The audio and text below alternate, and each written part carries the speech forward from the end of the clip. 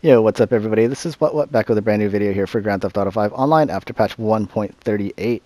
Now for today's video, this is going to be an all new lowrider money glitch originally founded by Tuto Facile Francais. Huge shout out to Tuto for hooking us up with another unlimited money glitch. Now you will be required to have a CEO office building, at least one CEO garage, and the mod shop in the CEO building. You'll also be required to have one friend set to a different targeting mode than yourself. So my buddy IC that's helping me out with today's video, he has his targeting mode set to assisted aim partial. So while I was in story mode, I went to settings and controls and I set my targeting mode to be free aim. So you got to be a different targeting mode than your friend that's helping you out. Now from here I went ahead and filled up my CEO office garage with stock elegies. You will be required to start off with a completely stock elegy to do this glitch. Now, for starters, basically you want to be in office garage number one. You want to be on the first floor or floor 1A. And we're going to go ahead and hop into any elegy. I suggest just using the elegy that's in spot number six here, which is closest to the blue circle and closest to your elevator. So just get into the car, hit right on the D-pad, and go ahead and take it into the mod shop. Now when you do the actual glitch, you need to add the Benny's upgrade. Okay, so as you can see in the video, I'm going to add the Benny's upgrade and I'm going to fully upgrade the car. If you want to test out the first part of the glitch so you don't waste any money getting timing down correctly, just add any one cheap item and make sure that you can get yourself kind of in a glitched out state where you are frozen, which you'll see here in the video. I tested a few times just to make sure I got the timing down correctly before I went ahead and actually started the glitch. But for the video here, I'm going to go ahead and show you I went, went ahead in fact fully upgraded the vehicle. So I upgraded it to a retro custom and I added the maximum number of upgrades on the vehicle. Once you do so, you want to go to exit, make sure that that box there you see on the screen in the top left hand corner is going to remain there in the top left hand corner. So it says exit office garage 1, exit vehicle, or exit to ground. You want to hover over or highlight exit to ground. And at this point, you're going to go ahead and go to your dashboard. So like on PlayStation, as a for instance, I'm going to hit the PlayStation button. I'm going to go over to my friends tab. I'm going to go down to my friend's name that is helping me out with the video today, or whoever's helping you out with the glitch. You're going to click on their name. You're going to go to the GTA tab and click on that. And in the bottom left hand corner, you're going to see a box that says join.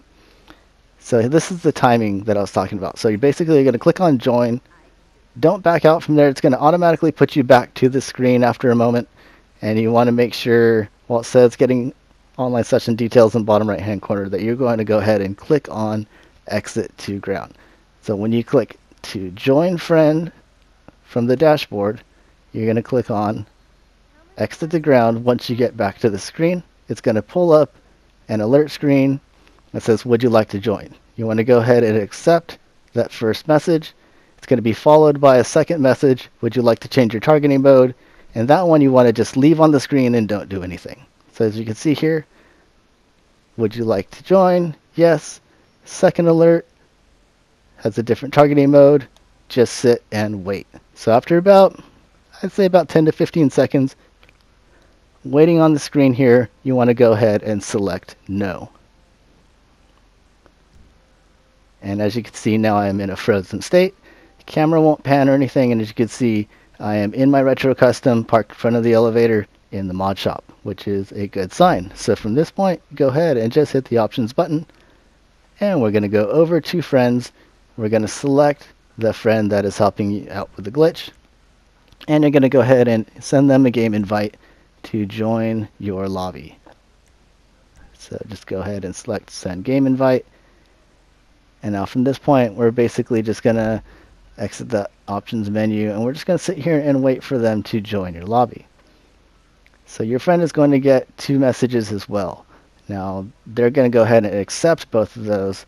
They will need to change their targeting mode so they can go ahead and join your lobby. Now once your friend is loaded into your lobby, go ahead and have them start up a job. Just have them select Titan of a job and go ahead and load into that mission lobby. Once they're in the mission lobby, you're going to go to options, go to friends, go down to your friend's name that's helping you out, click on their name, and select join game. You got to make sure that they are in your lobby. Now you are in an invite only lobby. Your friend was in a friend session. And then you went ahead and invited them into your session and had them start up a job, which you try to join them. It's going to give you this message here where it basically says that you can't join. And you're just going to go ahead and accept that message or just continue. It's going to make you no longer glitched out. So you're going to be standing outside of your Elegy Retro Custom and you're able to walk around. So from this point, this is basically a cloned vehicle. So now you want to go ahead and pull up your interaction menu and you want to just invite to Office Garage, send a game invite to your friend who is helping you out with the glitch. Now this might take a few moments for your friend to actually make it into your Office Garage. So just go ahead and just hang out and wait until they show up.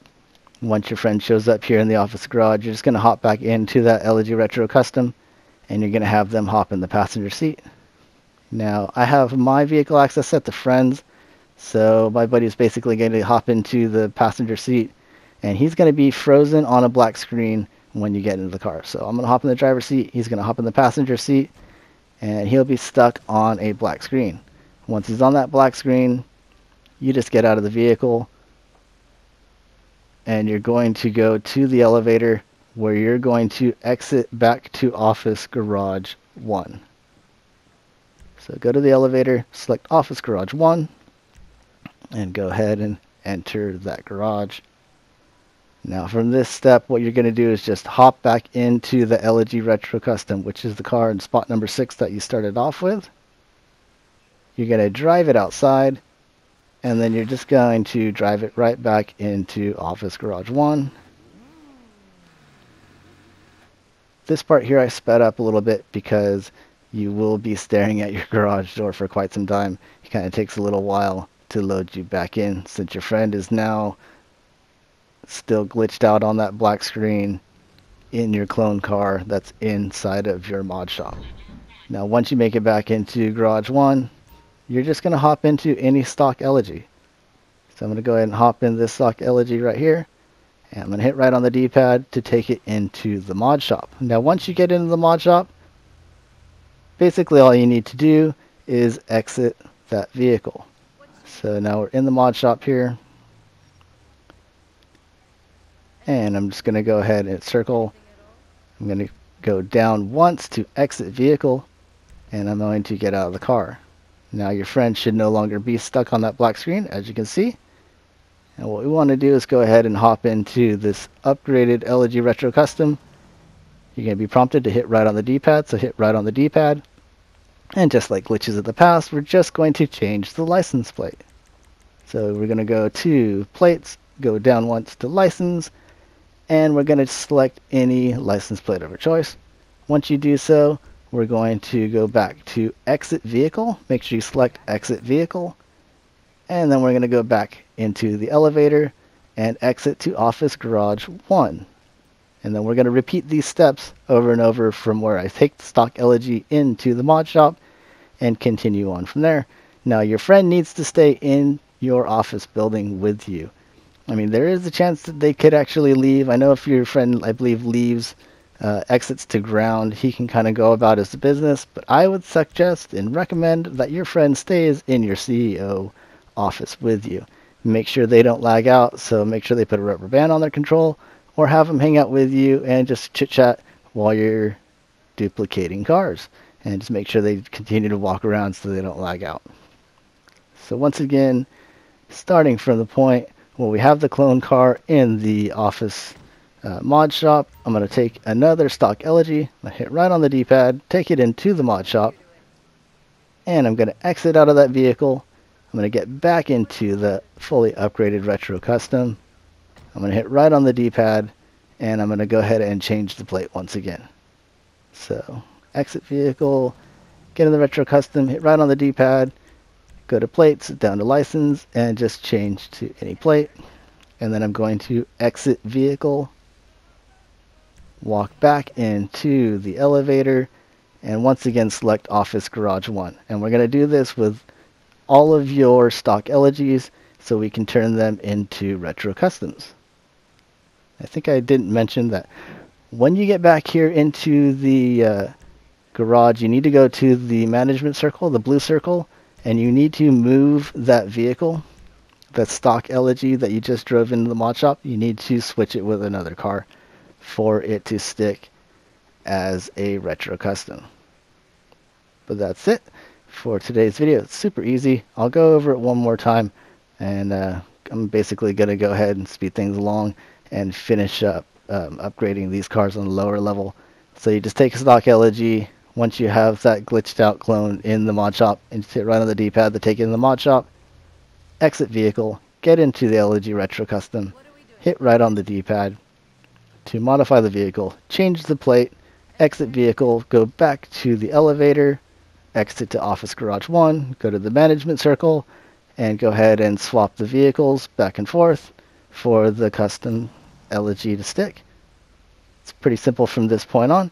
Now, for those of you that are unaware, you can in fact swap vehicles between your office garages.